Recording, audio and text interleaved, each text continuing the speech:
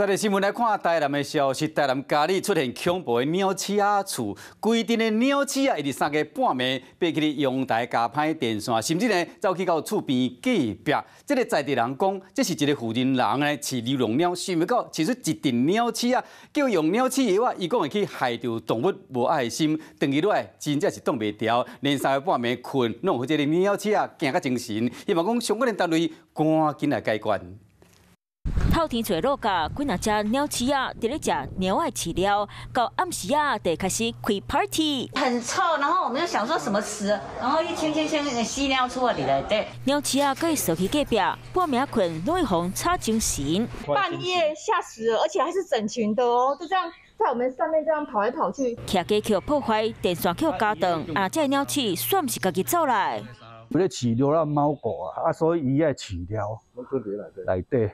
啊，所以有有鸟鼠啊，伊会入来，吼啊，伊明知影有鸟鼠啊，伊嘛是继续咧饲。鸟鼠啊是一个惊到人，厝边头尾叫要自在袂调，就家己伫咧巷内底放野来偷鸟鼠，也毋过嘛是无效。啊，你鸟鼠啊，莫饲，吼，伊讲迄杀生诶毋好，恁无诚心。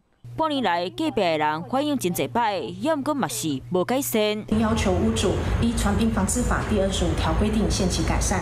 若屋主借期未改善，将依同法第七十条处新台币三千元以上至一万五千元以下罚款。出动空拍机，针对他的屋顶及阳台，吼，如果发现有环境脏乱的情况，吼，将依法告发。亲像高雄三明区去年嘛出现过密气伫咧大厝，公务局尾啊嘛是直接动去厝内强制变灯，才幸好厝边头尾清洁环境。即么第一嘛出现，隔壁人就要挡袂掉，更希望相关单位跟出面解决。